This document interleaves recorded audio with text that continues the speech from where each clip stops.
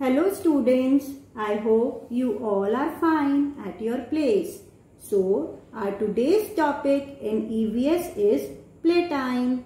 All of us need to play some games to relax and stay fit. Games can be indoor or outdoor. Outdoor games are played outside in the park or the playground.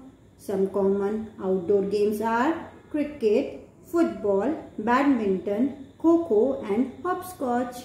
Outdoor games are generally played between two teams or two players.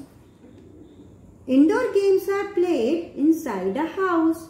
We play indoor games with our family members or friends.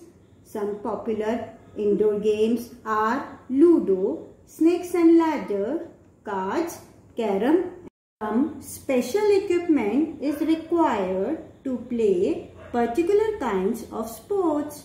These are called sports equipment.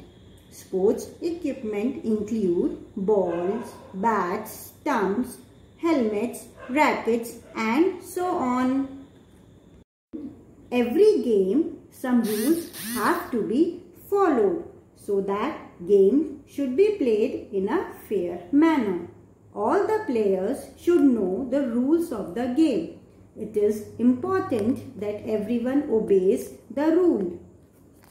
In some games, there are umpires or referees who make sure that all the players follow the rules of the game. So students, that's all for today's topic. We'll meet in the next turn. Goodbye.